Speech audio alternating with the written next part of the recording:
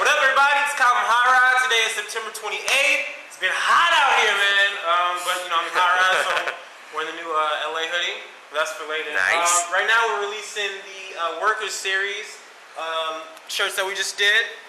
So this whole series is basically, you know, an ode to the working man for uh, working through this recession for us. So the first one we have here is called the Brotherhood Tee. It's just the, the uh, fist signifying strength and, you know, unity. So if you look close, it says it is what it is, handmade in LA. There's a lot of attention to detail. We have the charcoal, we have the blue with the vibrant colorways, and then we have the red, white, and blue. Very simple. Um, and then moving along, we have the Made in USA shirt. This is one of my favorite ones, especially this colorway. It's sick.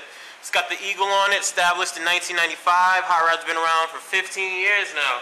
Doing it before a lot of you guys were even born. Um, so we got this in the two colorways, and then moving along, we have the Westwood uh, Pacific Division shirts. Very simple graphic, just upper left chest. It's close to the heart, keeping it simple. Um, red, white, and blue charcoal. And then we also have the blood and fire. It is what it is is pretty much one of our slogans around here. I mean, we catch ourselves saying it so often, so we throw, you know, we thought we'd throw it on a shirt for you guys. Um, to get this stuff, what you definitely need to do, uh, visit hrlife.com or call down and order. It's 310-446-5527 is the number. Follow us on Twitter, Hot Rod LA.